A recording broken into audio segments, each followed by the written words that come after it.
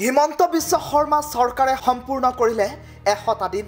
এশটা দিনত লোৱা হ'ল চাৰিশৰো অধিক সিদ্ধান্ত। কিন্তু তাৰ মাজতেই আৰম্ভ হৈছে এতিয়া সমালোচনা। হিমন্ত বিশ্ব শৰ্মা চৰকাৰক দহৰ ভিতৰত দিয়া হ'ল তিনি নম্বৰ। দহৰ ভিতৰত তিনি নম্বৰ দিলে আৰ পি শৰ্মাই। কংগ্ৰেছৰ এটা প্ৰতিশ্ৰুতি ধাৰ কৰি নিলে হিমন্ত বিশ্ব শৰ্মা চৰকাৰে। এই মন্তব্য আৰ পি শৰ্মাৰ। এক লাখ চাকৰি দিয়া প্ৰতিশ্ৰুতি ধাৰ কৰি নিলে হিমন্ত বিশ্ব চৰকাৰে। কংগ্ৰেছৰ পাঁচোটা প্ৰতিশ্ৰুতি যদি বিজেপি চৰকাৰে নিয়ে তেনেহ'লে আঠ বা ন নম্বৰ পাব বুলিও মন্তব্য প্ৰকাশ কৰিলে আৰ পি শৰ্মাই। কংগ্ৰেছৰ প্ৰথমটো প্ৰতিশ্ৰুতি আছিল প্ৰতি বছৰত এক লাখ চাকৰি দিয়া। আৰু সেই প্ৰতিশ্ৰুতিকেই আংশিকভাৱে ধাৰ ল'লে বিজেপিয়ে।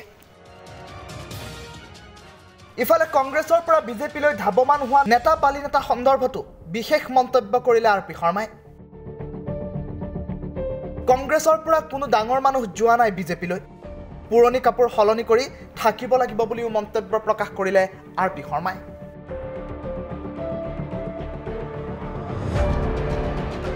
এতিয়া হিমন্ত বিশ্ব শৰ্মা চৰকাৰ আজি এশ দিন হৈছে। কি ক'ব বিচাৰিব? নম্বৰ যদি দিব লগা হয় দহ- নম্বৰ মই দহৰ ভিতৰত তিনি দিম মেক্সিমাম তিনি দিম কিয় কওকচোন? কংগ্ৰেছৰ পৰা এটা প্ৰতিশ্ৰুতি তেওঁলোকে ধাৰ কৰি লৈ গ'ল এইটো এক লাখ চাকৰি বছৰে দিম বুলি। এইটো কংগ্ৰেছৰ প্ৰথম প্ৰতিশ্ৰুতি আছিলে যে পাঁচ বছৰ পাঁচ লাখ বছৰে এক লাখ চাকৰি সেই এক লাখ চাকৰি দিয়া প্ৰতিশ্ৰুতি কংগ্ৰেছৰ পৰা ধাৰ কৰি লৈ যোৱাৰ কাৰণে দহটাৰ ভিতৰত তিনি দিম যদি পাঁচটা প্ৰতিশ্ৰুতি যদি লৈ যায় কংগ্ৰেছ পৰা তেতিয়া হয়তো আঠ বা ন বা দহো পাব পাৰে ব্যুৰ' ৰিপৰ্ট টাইম এইট।